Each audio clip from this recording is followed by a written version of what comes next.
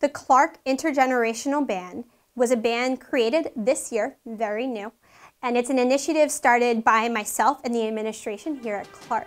The idea is to give people of the community, both students, parents, uh, community members who aren't involved in the schools here at Clark, the opportunity to play an instrument. Anybody who plays an instrument in band, so you know, brass instruments, woodwinds, percussion, and we will have three rehearsals prior to the concert, which will be on December 18th, which is also Frank K. Hehnly's elementary music concert.